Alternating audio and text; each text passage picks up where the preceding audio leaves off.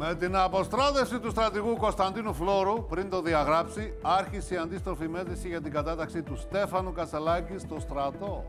Ο αρχηγός του ΣΥΡΙΖΑ πέρασε μια πολύ ήρεμη εβδομάδα με έξι διαγραφές βουλευτών του κόμματος, 7 κίτρινες κάρτες σε στελέχη, 5 υπαξίπα και έναν τρικούβερτο καυγά με το επιστήθιο μουστάκι του Παύλου Πολάκη. Με την ατάκα οι φιλίες δεν χαλάνε για τα κόμματα ρε Ο Πάλιουρας Πολάκης έδωσε ραντεβού με τον νέο Πακασελάκη στα στρατοπεδάδικα.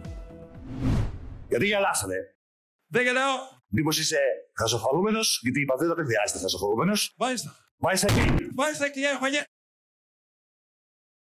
Αν δεν τα πάμε καλά εμείς οι δύο, θα γίνεις υπόδειγμα στρατιώτη. Αλλιώς θα φτύσεις του γάλα που βίζαξες.